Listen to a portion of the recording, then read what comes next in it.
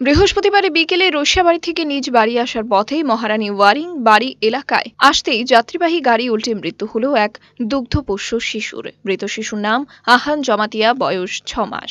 এই দুর্ঘটনায় গাড়ির ড্রাইভার ও শিশুর মা গুরুতর আহত অবস্থায় টেপানিয়া জেলা হাসপাতালে চিকিৎসাধীন। জানা যায়, বৃহস্পতিবার বিকেলে নিকট আত্মীয়ের বাড়ি থেকে নিজ বাড়ি আসার পথে এই দুর্ঘটনা সংঘটিত হয়। যাত্রীবাহী গাড়ির নম্বর TR zero three N five six four গাড়িটি দ্রুত গতিতে থাকার কারণে একটি রাস্তার পাশে বড় গাছে গিয়ে ধাক্কা দেয়। ঘটনাস্থলে রক্তাক্ত হয় ছ মাসের একটি শিশু সহ তার মা। সেই সাথে দুর্ঘটনায় জখম হয় গাড়ি চালকও। ঘটনার সাথে সাথে শিশুটিকে টেপানিয়া জেলা হাসপাতালে নিয়ে আসা হয়। কিন্তু টেপানিয়া জেলা হাসপাতালে নিয়ে আসলে হাসপাতাল সূত্রে খবর ডাক্তার ধরে পর্যন্ত দেখেনি শিশুটিকে।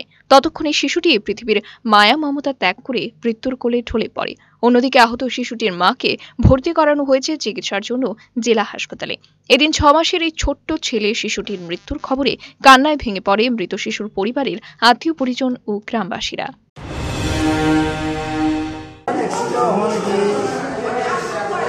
তখন পাইছি অ্যাক্সিডেন্ট তখন তারা গাড়িতে চারজন আসলে কি গাড়ি? অল্টো গাড়ি। আচ্ছা।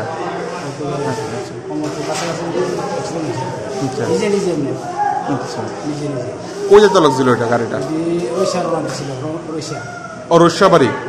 থেকে রৈশা রওনা বাইসং বাড়ির থেকে? আচ্ছা। ডেথ হয়েছে নাকি ওখানে? ছোট একটা বাচ্চা। ড্রাইভার আর বাচ্চার মা। বাচ্চাটার কই আছে? বাচ্চার নাম কি নাম? বাচ্চাটার নাম কি? আহান জমাতি জমাতিয়া। কত মাস বয়স টয়স কইছে ছয় মাস। মা কই?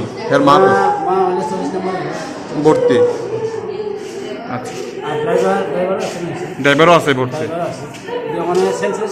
পারে। ও আচ্ছা আচ্ছা। Bureau report search India TNN.